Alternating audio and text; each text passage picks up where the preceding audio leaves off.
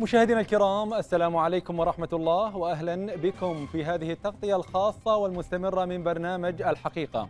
حلقتنا لهذه الليلة تختلف عن سابقاتها نستعرض خلالها جردة حساب للأيام الستين الماضية من عمر هذه الأزمة بأهم محطاتها خيباتها زلاتها تناقضاتها وموقف دولة قطر من كل ذلك. لتكون بذلك شاهدة للتاريخ على كل ما جرى وما هو آت فأهلا ومرحبا بكم. كثيرة من الأسئلة التي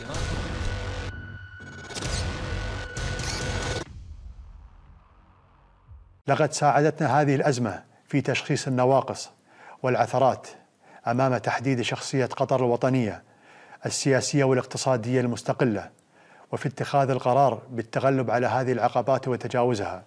وها أنا أتوجه إليكم فيما نخوض جميعا هذا الامتحان بعزة وكرامة لأقول لكم إن قطر بحاجة لكل منكم في بناء اقتصادها وحماية أمنها.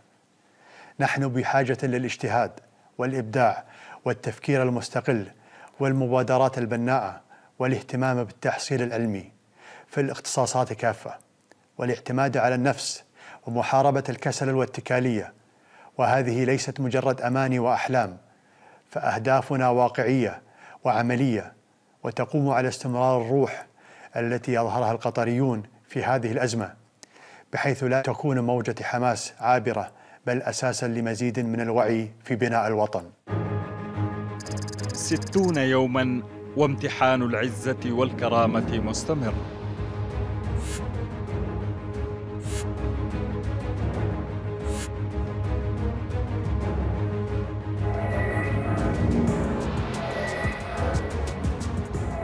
في يوم الأربعاء الرابع والعشرين من مايو الساعة الثانية عشرة وثلاث عشرة دقيقة تعرض موقع وكالة الأنباء القطرية لجريمة قرصنة وكذلك حساباتها على وسائل التواصل الاجتماعي. كانت الغاية من الجريمة نشر تصريحات ملفقة نسبت بهتانا إلى حضرة صاحب السمو أمير البلاد المفدى. فور اكتشاف جريمة القرصنة سارعت الدوحة إلى الإعلان عن الخبر. ونشر سعادة الشيخ عبد الرحمن بن حمد آل ثاني الرئيس التنفيذي للمؤسسة القطرية للإعلام تغريدة على حسابه الرسمي في تويتر تأكيداً لخبر تعرض موقع الوكالة الرسمي للقرصنة.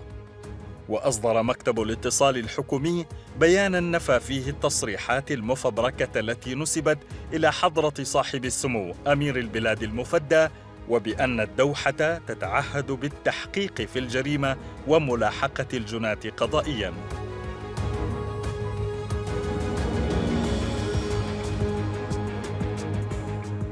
هو ليس اختراق فقط وإنما هو جريمة إلكترونية وفق آه، آه، كافة القوانين وجريمة يحاسب عليها القانون وهناك هجوم إلكتروني آه، تم شنه على مواقع وكالة الأنباء القطرية وبث تصريحات كاذبة لسمو الأمير أو أو تصريحات لم يقلها ولم يصرح بها.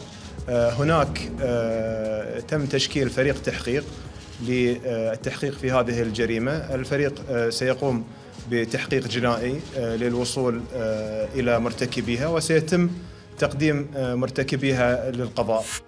على الجانب الآخر وبعيدا عن النفي القطري الرسمي تغافلت وسائل الإعلام في السعودية والإمارات والبحرين ومصر عن خبر تعرض الوكالة للقرصنة وتجاهلت بيان النفي الرسمي واستمرت وبتعمد ملفت التعامل مع التصريحات المفبركة كما لو أنها حقيقة قائمة.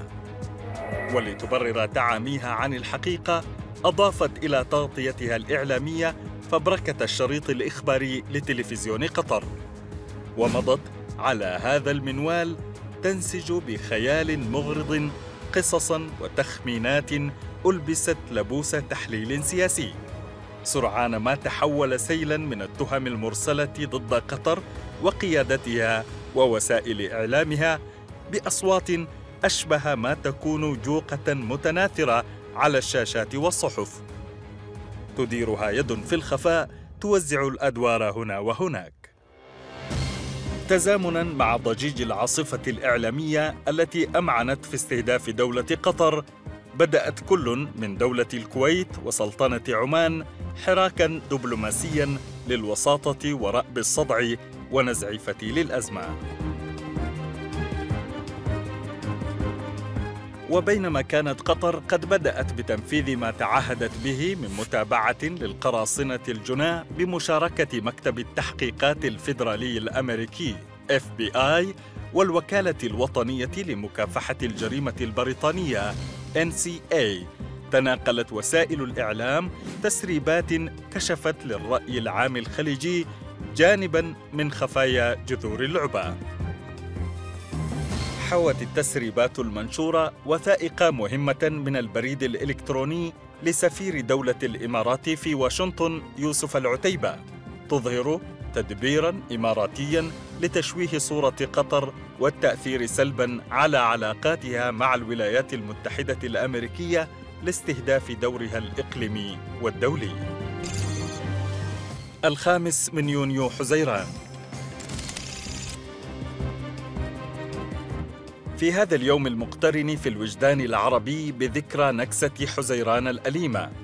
وفي شهر رمضان الفضيل اختارت السعودية والإمارات والبحرين بمعية مصر أن تلحق بدول الخليج العربي نكسة مماثلة حيث أعلنت الدول الأربع قطع علاقاتها الدبلوماسية مع قطر وفرض حصار بري وبحري وجوي. فإنها قررت قطع العلاقات الدبلوماسية والقنصلية مع دولة قطر كما قررت إغلاق كافة المنافذ البرية والبحرية والجوية. ولمواراة موقفها الظالم اختارت مصطلح المقاطعة بديلا عن مصطلح الحصار. هذا التصعيد بدأ عندما بدأ بث الأخبار الكاذبة بعد جريمة القرصنة التي ارتكبت في وكالة الأنباء القطرية وبثت فيها تصريحات مفبركة وافتراءات بلسان صاحب السمو الأمير وبني عليها تصعيد إعلامي غير مسبوق وقد وصل إلى مراحل متقدمة جدا لم نعهدها في دول مجلس التعاون وخصوصا عندما يتم الإساءة لدول مجلس التعاون من كافة وسائل الإعلام التي متواجدة في هذه الدول الإساءة لدولة الشقيقة والإساءة لرموزها والانزلاق إلى مستوى متدني جدا بالإساءة إلى أعراض في هذه الدولة.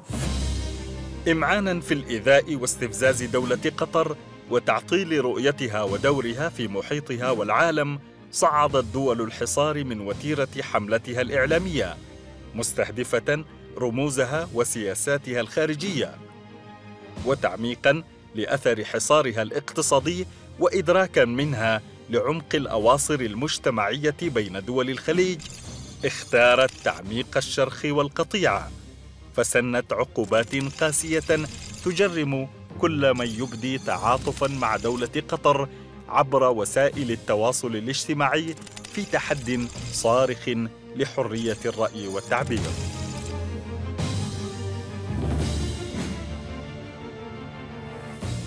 بتوالي أيام الحصار الأولى بدأت تتكشف الآثار النفسية والاجتماعية المؤلمة للحصار.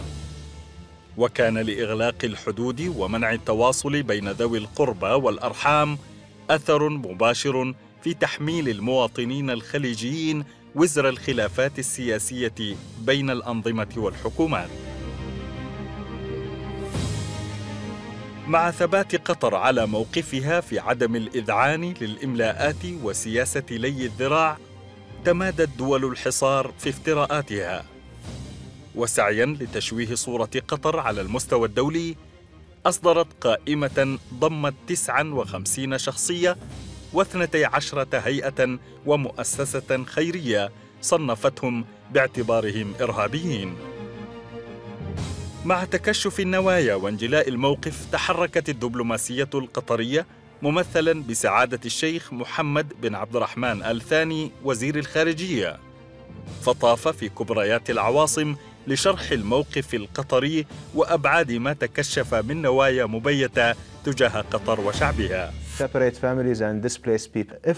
إذا كانت هنالك حجج مقنعة واتهامات فمستعدون لتوضيحها ولكن كل تلك الافتراءات والحجج ليست على قاعدة صلبة وغير مقنعة. وإذا كانت لديهم دلائل حقيقية لماذا بنيت مواقفهم على فبركات لأخبار عبر اختراق وكالة الأنباء؟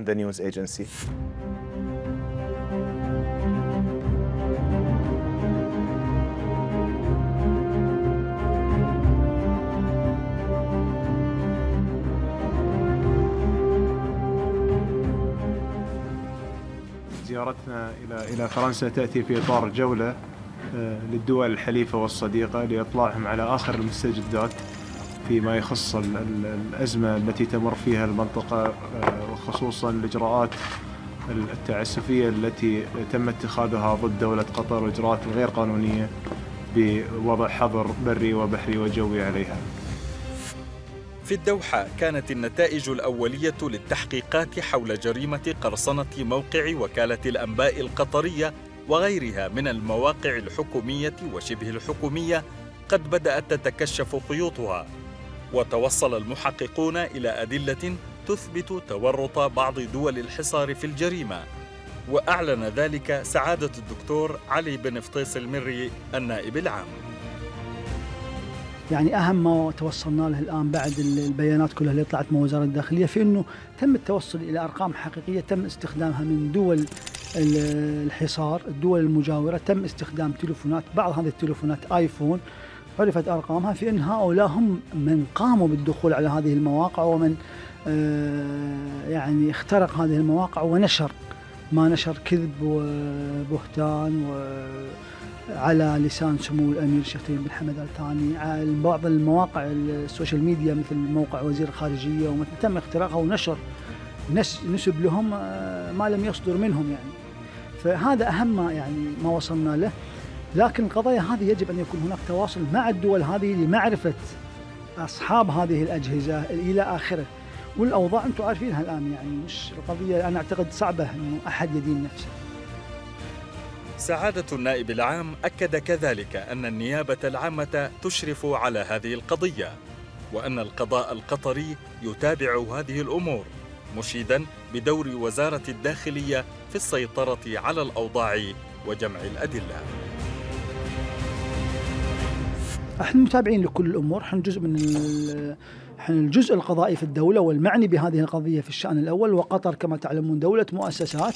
ال- وزارة الداخلية مشكورة آه، ممثلة في معالي الشيخ عبد الله بن ناصر رئيس الحكومة وزير الداخلية قامت بكل الجهد في موضوع السيطرة على هذه القضية من بدايتها في قضية ال- جمع الأدلة وفي قضية ال- التحقيق الأولي وفي ال- جمع المعلومات حول هذه من خلال قسم الجرائم الإلكترونية في ال- الأدلة والمعلومات في وزارة الداخلية، الآن النيابة العامة تشرف على هذه القضية لأنه مثل ما قلت لكم قطر دولة مؤسسات، قطر فيها قضاء مستقل ونيابة مستقلة لذلك هذه القضية تشرف عليها النيابة العامة لكن الكل متعاون فيها ويعني لم يدخروا جهد. بعد مرور 18 يوما على الأزمة رفعت دول الحصار إلى قطر قائمة مطالب سربتها إحدى دول الحصار وكان من بين المطالب إغلاق قناة الجزيرة معتبر اعتداء صارخا على حقوق الإنسان وحرية التعبير فضلا عن المطالب الأخرى التي تمثل اعتداء على السيادة الوطنية لدولة مستقلة. في تعليق أولي على قائمة المطالب التي تقدمت بها دول الحصار لدولة قطر أكدت اللجنة الوطنية لحقوق الإنسان أن المطالب تحمل شروطا تنتهك اتفاقيات حقوق الإنسان وغيرها من الاتفاقيات الدولية والإقليمية ذات الصلة. ثم جاء الرد القطري الرسمي مؤكدا أن قائمة المطالب وضعت أصلا كي لا تنفذ وفيها ما فيها من مس بالسيادة الوطنية وباستقلالية القرار القطري وقد أودع الرد مع الشقيق الكويتي.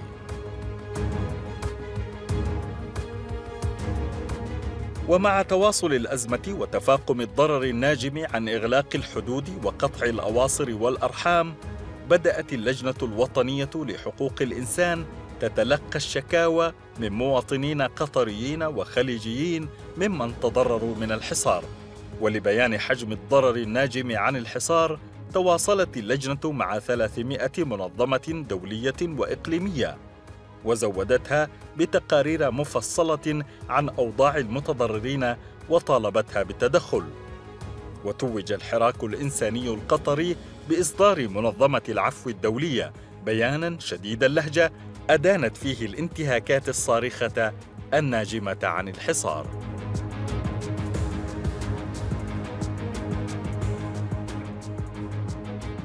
مع استمرار مسار قطر الدبلوماسي الدؤوب كان سيل التهم المرسله من دول الحصار قد بلغ مداه في التلفيق والافتراء. بينما أصرت الدوحة على موقفها المبدئي الثابت بعدم التنازل عن سيادتها الوطنية. مع التأكيد المتلازم على احترام دور الوساطة الكويتية وتوفير سبل إنجاحها. أما بالنسبة تصريح معالي الوزير الإماراتي الذي قال آه، كفى دعما للارهاب أو كفى تمويلا نحن لا نقول له إلا كفى كفى افتراء على دولة قطر وكفى إطلاق لهذه الأكاذيب آه، آه، عن دولة قطر. وتشويه سمعة دولة قطر بل وتشويه الحضارة الإسلامية وسمعة الحضارة الإسلامية لدى الغرب. وكفى إيواء لمجرمي الحرب العراقية وكفى تبني للميليشيات الخارجة عن القانون. فإذا كنا سنبدأ مجاراة كلمة كفى فكفى كثيرا. مع تمادي صحافة دول الحصار في إسفافها وصمت الدول الراعية لها كانت نوايا دول الحصار قد بدأت تتكشف أكثر وكان لابد من إطلاع الرأي العام الدولي على جانب منها. في لندن وفي جلسة للمعهد الملكي للعلاقات الدولية أبان جزءا منها سعادة وزير الخارجية القطري فصرح أن المسؤولين من البلدان المحاصرة لا ينتقدون سياسات قطر فحسب. بل يطالبون بتغيير النظام في قطر وإحداث انقلاب والتحريض على الكراهية والعنف. الدول التي تحاصر دولة قطر توجه رسالتين مزدوجتين، الأولى موجهة إلى المتلقي الغربي وأخرى لشعوب هذه الدول. الرسالة الموجهة إلى شعوب هذه الدول جاءت بعد أن فشلت في تبرير إجراءاتها الظالمة ضد دولة جارة في شهر رمضان الفضيل. بعض هذه الدول جرم التعاطف مع قطر وهذا يدل على عدم القبول الشعبي لهذا التصعيد في داخل الدول التي بدأت هذا التحرك. بعد مضي شهر على الحصار كان إيقاع الحياة اليومية في قطر منسابا بشكل اعتيادي حركة البيع والشراء في الأسواق مستقرة مع توفر مختلف أنواع السلع والمواد الغذائية بينما استمرت دول الحصار وعبر ماكينتها الإعلامية متنوعة الأوجه متعددة الأذرع تروج لدعاية شح المواد الغذائية حتى ذهب بعضها إلى الحديث عن مجاعة في قطر تلوح في الأفق ولم يكن الهدف من كل ذلك سوى التشكيك بقدرة الاقتصاد القطري على الاستقرار. في الرابع من يوليو عقد وزراء خارجية دول الحصار اجتماعا في القاهرة خصص لبحث الرد القطري على ما سمي بالمطالب الثلاثة عشر مع بروز لغة التهديد. ورغم محاولة المجتمعين إظهار وحدة الرأي والتوجه كنتيجة لذلك الاجتماع إلا أن الظهور الإعلامي للوزراء الأربعة في المؤتمر الصحفي التالي للاجتماع كشف عن صورة بالغة الوضوح من الارتباك والتناقض في الرأي. في وقت كانت فيه الدبلوماسية القطرية ماضية بانسجام مع ذاتها وموقفها المبدئي الثابت. إن دولة قطر لن تمتثل لأي مطلب ينتهك القانون الدولي ولن تمتثل أيضا لأي إجراء يقتصر على دولة قطر وحدها وأي حل يجب أن يشمل الجميع وليس قطر فقط.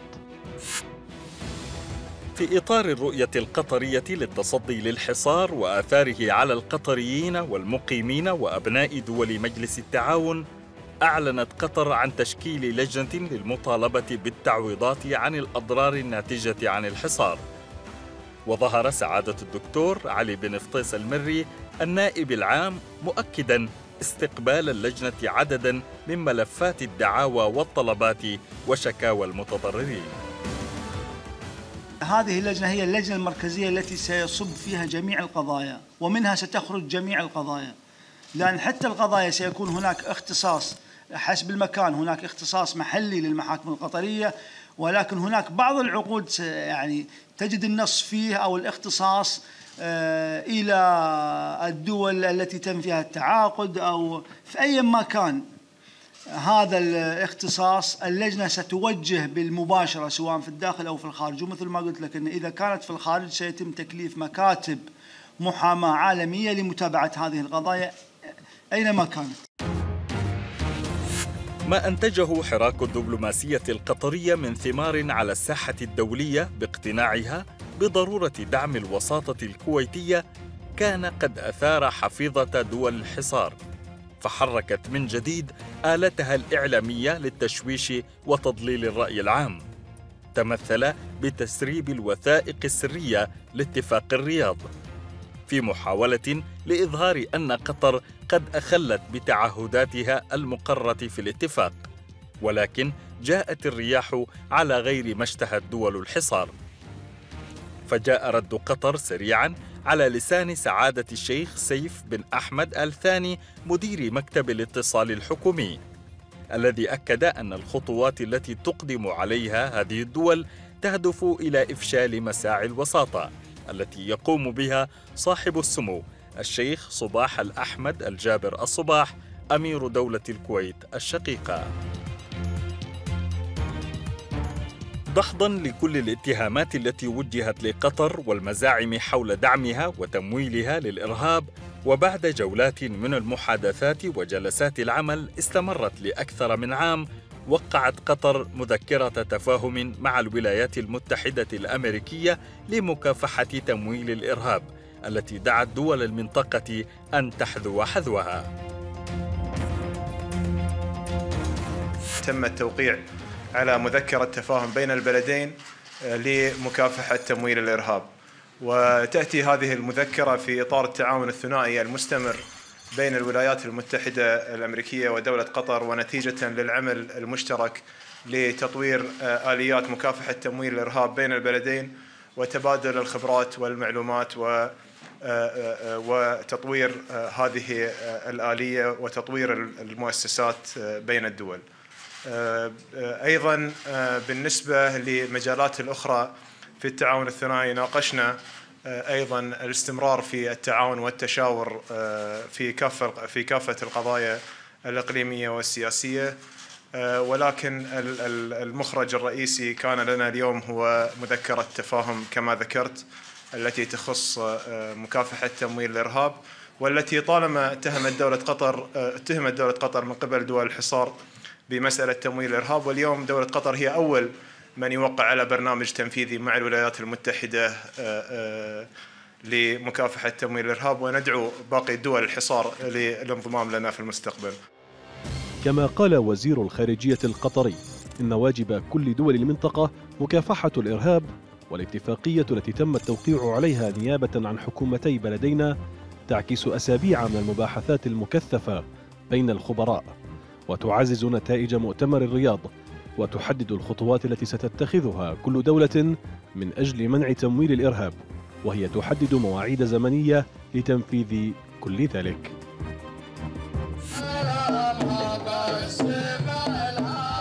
رغم الحصار ومع كل يوم يمر كان الشعب القطري يزداد التفافا حول قيادته وإلى مزيد من متانة الوحدة والتضامن في موقف عزة وكرامة وجد تجسيده العفوي على جداريات تميم المجد.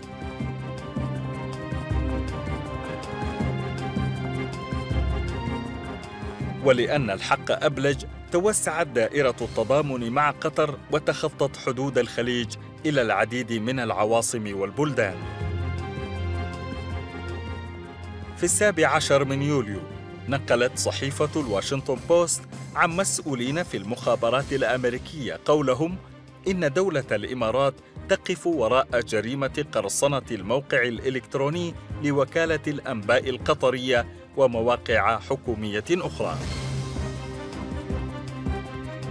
الحرب النفسية لها أدوات عدة وساحات كثيرة، ومن أهم ساحاتها اليوم وسائل التواصل الاجتماعي، وهذا ما تستخدمه دول الحصار من وسائل التزييف الإلكتروني لشن حربها النفسية على دولة قطر وشعبها.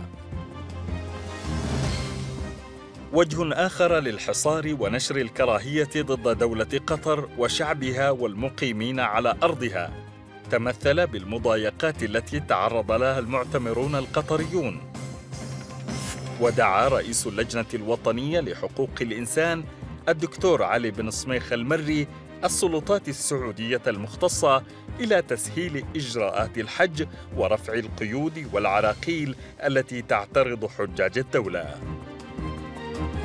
العديد من الصعوبات والعراقيل التي تواجه الحجاج القطريين والمقيمين في دولة قطر وطالبنا الحكومة السعودية بأن يكون هناك موقف واضح وصريح فيما يتعلق بتسهيل إجراءات الحج ولا بد يعني طبقا للاتفاقيات الدولية لا بد أن يكون هناك تسهيل لهذه الإجراءات ورفع كافة العراقيل والعقوبات.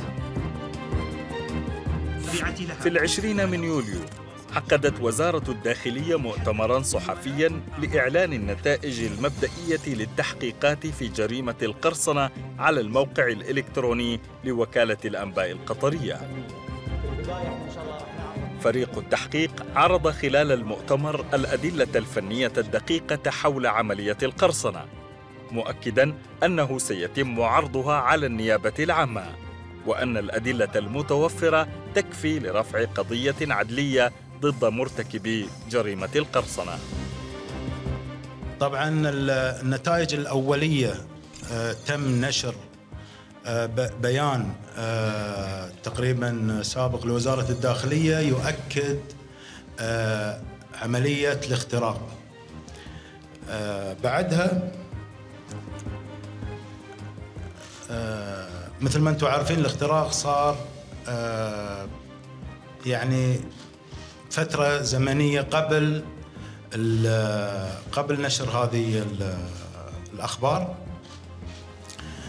طبعا المخترق قام بالسيطرة الكاملة على شبكة وكالة الأنباء القطرية وسرقة الحسابات الخاصة بالموقع الإلكتروني ومواقع التواصل الاجتماعي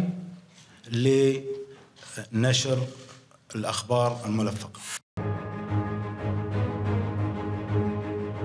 اليوم هو يوم الجمعة والخطاب فيه ليس كما في غيره. خطاب الثبات لحضرة صاحب السمو الشيخ تميم بن حمد آل ثاني أمير البلاد المفدى. نتحدث بعقلانية لتقييم المرحلة التي نمر بها وتخطيط المستقبل الواعد الذي أثبت شعبنا أنه أهل له وبوجدانية لأننا جميعا تأثرنا بروح التضامن والتآلف والتحدي التي سادت. وخيبت آمال الذين راهنوا على عكسها لجهل بطبيعة مجتمعنا وشعبنا.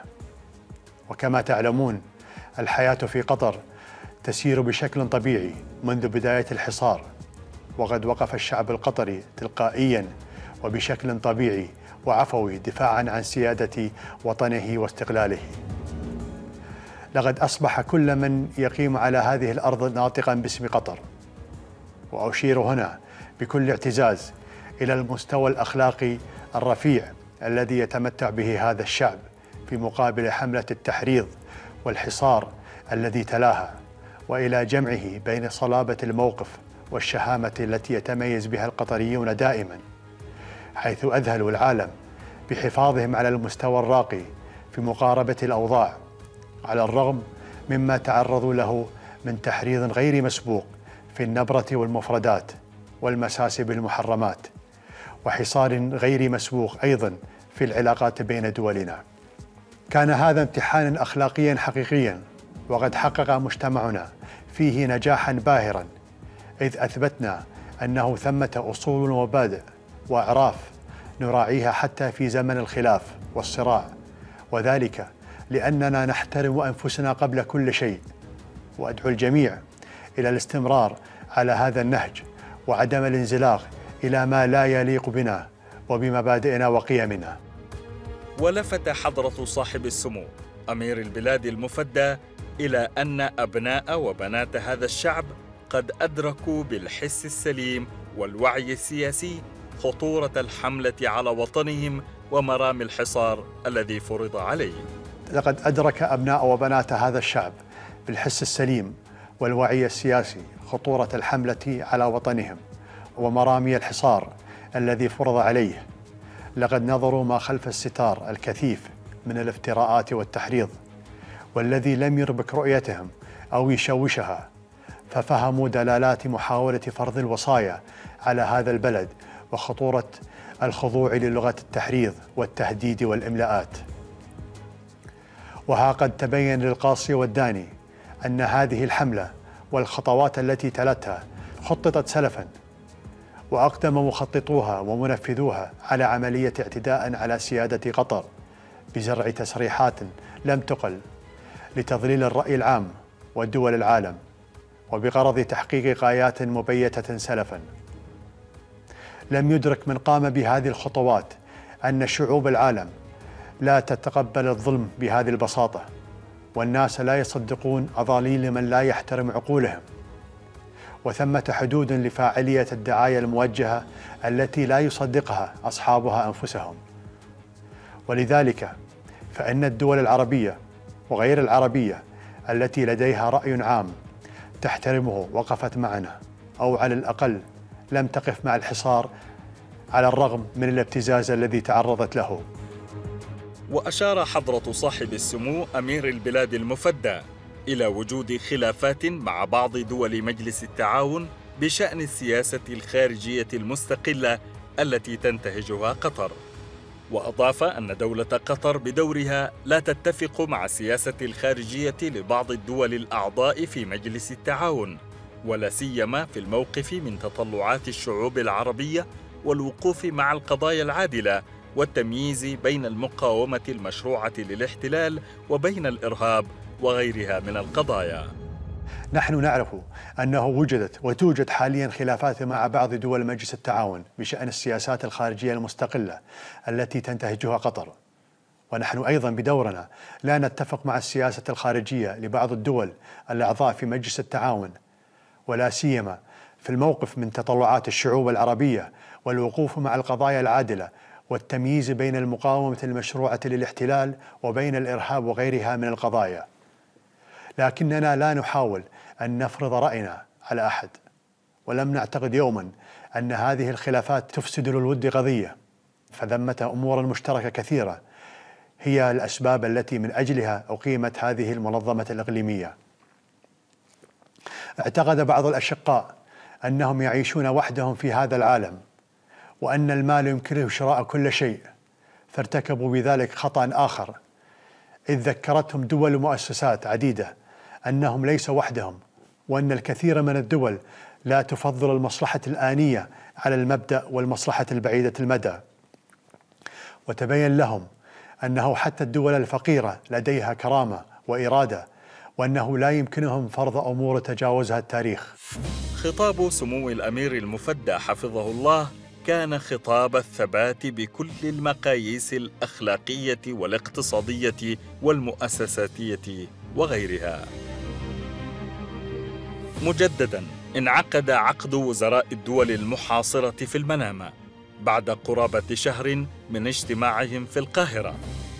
خلاصة ما تداولوه وقرروه أن على قطر أن تنفذ قائمة المطالب الثلاثة عشر والمبادئ الستة التي نص عليها بيان القاهرة. سعادة الشيخ محمد بن عبد الرحمن آل ثاني وزير الخارجية رد على ذلك بالقول: إن ما نتج عن مضمون اجتماع وزراء خارجية دول الحصار في المنامة هو إضافة للتناقضات السابقة الصادرة من هذه الدول. طبعا ما نتج عن هذا الاجتماع كان مجموعة من التناقضات التي أضافت إلى التناقضات السابقة التي سمعناها من تصريحات المسؤولين من الدول المحاصرة.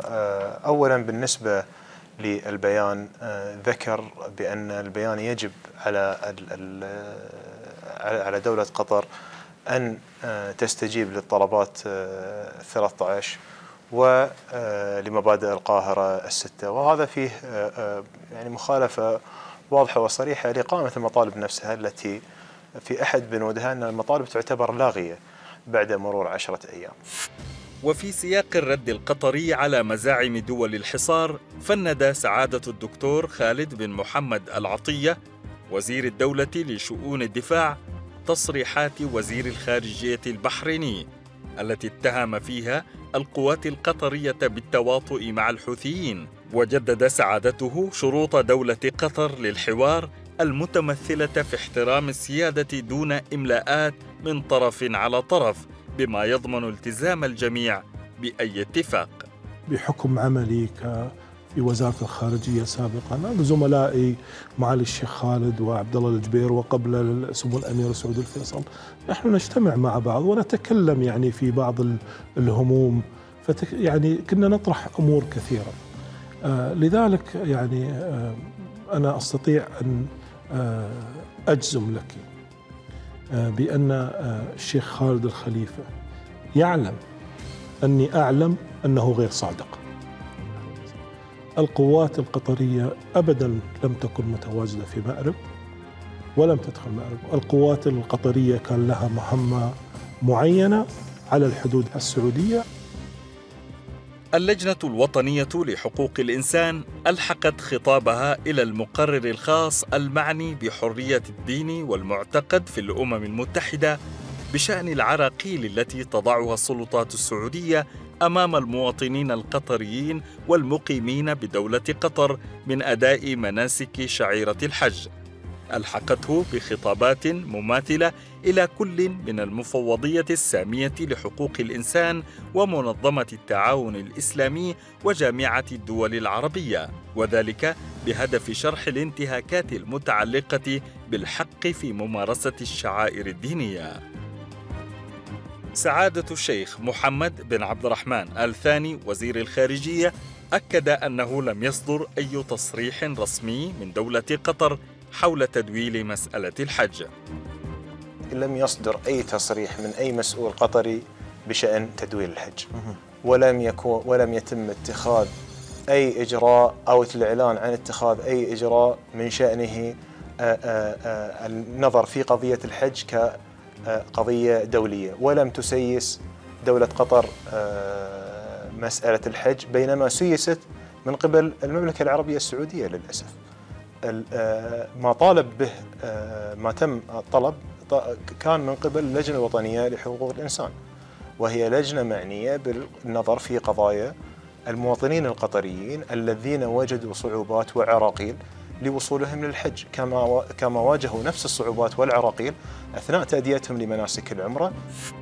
الخارجية الأمريكية أصدرت تقريرها السنوي حول الإرهاب في العام 2016 مشيدا بالشراكة القوية بين واشنطن والدوحة في مكافحة الإرهاب.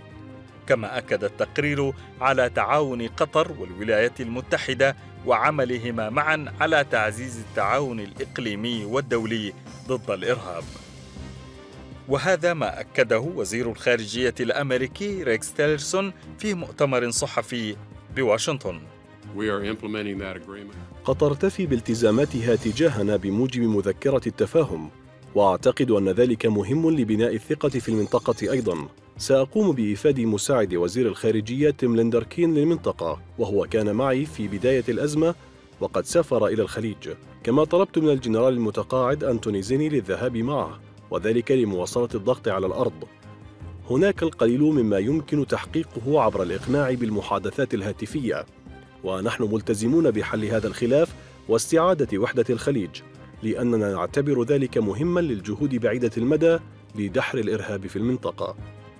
الموقف الأمريكي الذي عبر عنه وزير الخارجية عززه موقف إيطالي أعلنه وزير خارجية روما من الدوحة غداة استقباله من حضرة صاحب السمو أمير البلاد المفدى وعدد من كبار المسؤولين في الدولة. علاقتنا الثنائية مع قطر ممتازة ونحن أيضا سعداء لذلك. وهدفنا دائما هو دعم خطط قطر على المستوى الدولي. هناك العديد من الشركات الإيطالية هنا في قطر وتسهم في تحقيق العديد من المشروعات. وأهمها مترو الدوحة وأيضا في إنشاء الاستادات الخاصة بكأس العالم. وأيضا هناك العديد من المهندسين المعماريين الذين يعملون في مشروع تطوير مشيرب وأيضا هناك العديد من الأمور الاستراتيجية التي نعمل فيها في ميناء حمد. ونحن نريد أن ندعم الاستقلال العسكري لدولة قطر والشركات الإيطالية مستعدة لدعم الإنجازات الاقتصادية القطرية. ونحن أيضا مهتمون بالأمور الدفاعية بيننا وبين قطر. في الثاني من أغسطس ترأس حضرة صاحب السمو الشيخ تميم بن حمد آل ثاني أمير البلاد المفدى اجتماع مجلس الوزراء حيث أكد سموه ما جاء في خطابه بشأن استعداد دولة قطر لحل الأزمة الخليجية من خلال الحوار دون إملاءات ودون تدخل في السيادة الوطنية والشؤون الداخلية لأي دولة. وأكد سموه أولوية التركيز على الجهد الداخلي في الفترة القادمة وتقوية الجبهات الداخلية الوطنية في المجالات الاقتصادية والأمنية والصحية والتعليمية. بعد ستين يوما من الحصار والأزمة التي افتعلتها دول الخليج الثلاث بمعية مصر أثبتت قطر نجاحها في امتحان العز والكرامة وبعد رؤيتها وقوة حجتها ورسوخ علاقاتها بالعالم وصلابة اقتصادها وجبهتها الداخلية. فيما تظل دول الحصار تقدم رجلا وتؤخر أخرى في حالة من الارتباك وتناقض التصريحات.